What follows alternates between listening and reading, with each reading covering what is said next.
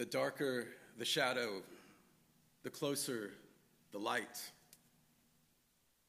The darker the shadow, the closer the light. Speak of the living God, Father, Son, and Holy Spirit. Amen. Please be seated. And welcome home, class of 1992. I will add my voice to your welcome.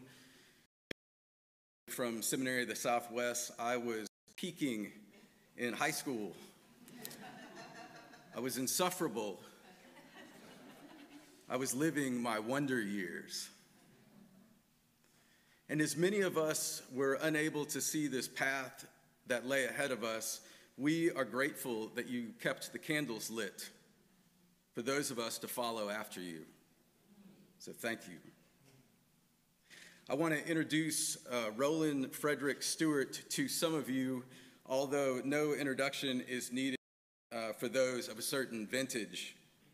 Rollen was a ubiquitous presence in the 1980s, appearing in a rainbow clown wig and bearing a sign that read John 3:16 in bold letters.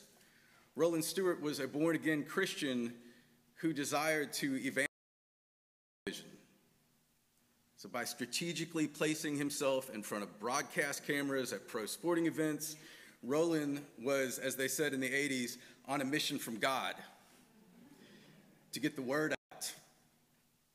So, whether at Major League Baseball games, behind NFL goalposts, in golf tournaments, he was called the Rainbow Man. And John 3:16 became a fixture on national TV. Emboldened as broadcasters tried to avoid capturing him on camera, Stewart and his verse seemed to become even more visible. It was like not, it was like he was everywhere at once. He even landed his own Bud Light endorsement.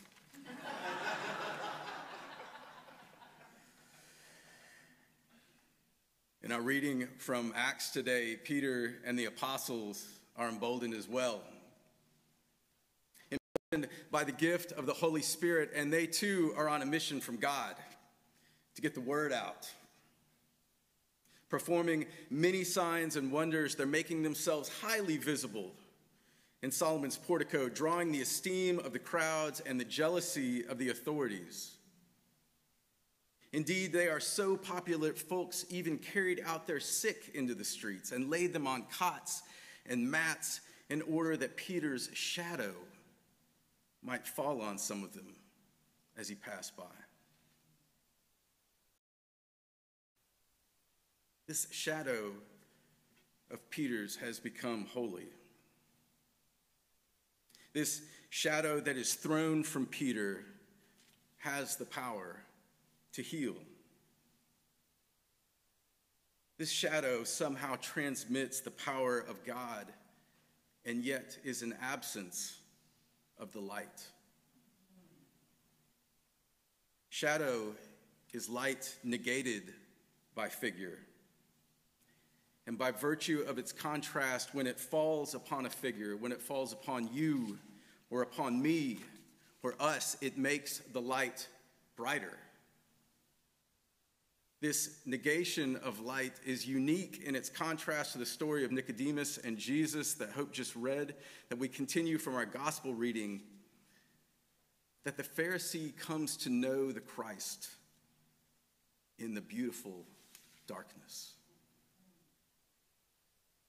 Now, much has been written on and preached about and frankly lamented over regarding this figure so prominently in the Gospel of John and in this scene. Themes of goodness and evil, belief and unbelief, life and death, light and darkness appear to leave no middle ground for those who receive the words of Jesus at face value. And ironically, face value is precisely what Jesus seems to be steering Nicodemus away from For God so loved the world that he gave his only Son, that everyone who believes in him may not perish, but have eternal life. Indeed, God did not send the Son into the world to condemn the world, but in order that the world might be saved through him. Those who do not believe in him are not condemned, but those who do not believe can, are condemned already because they have not believed in the name of the only Son of God.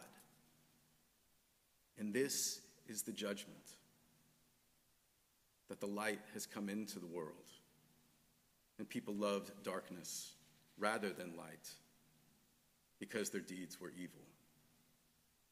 For all who do evil hate the light and do not come to the light so that their deeds may not be exposed.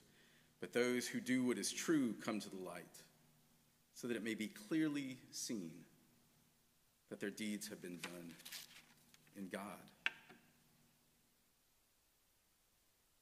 Taken at face value, these words are explicit.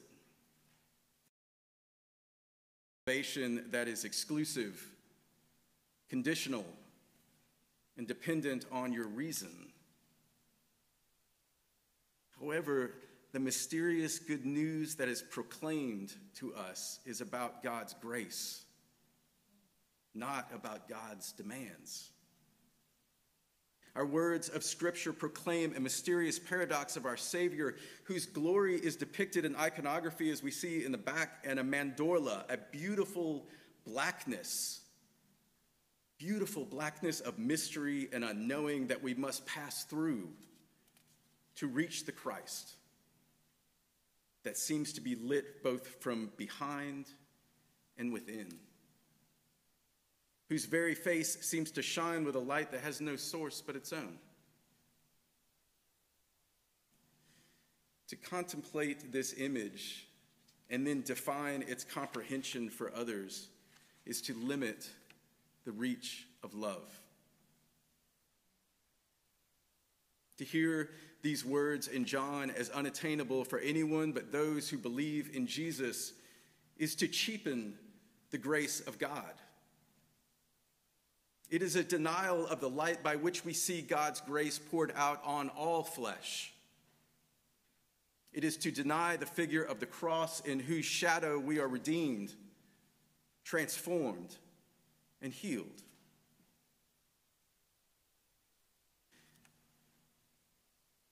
Those of you who believe that God so loves this world, all of this, all of this, you clearly see.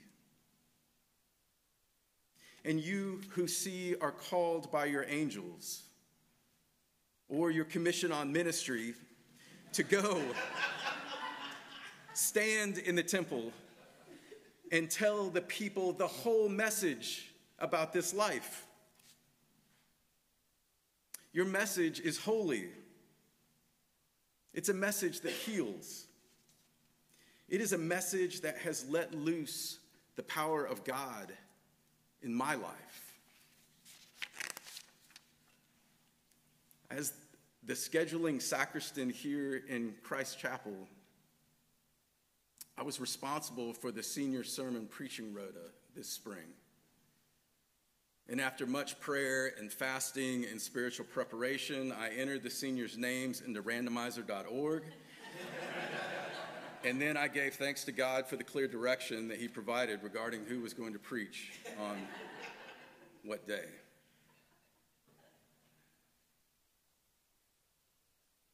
Friends, I'm grateful that today is my day to stand Amen. in this portico, in this chapel. I'm grateful that, like the Rainbow Man, today is my day to get the word out. These last three years have truly been the wonder years. These years, I'm grateful to have been seen by you to have been so loved by you, and for a brief time to have stood in your shadow as you passed me by. Thanks be to God.